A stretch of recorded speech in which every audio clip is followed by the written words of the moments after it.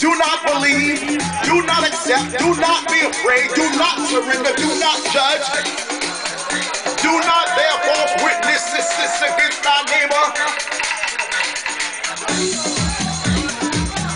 When they create unjust laws to repress, oppress, and suppress higher learning for our young black minds resist. When they conquer third worlds in the name of national security and steal their national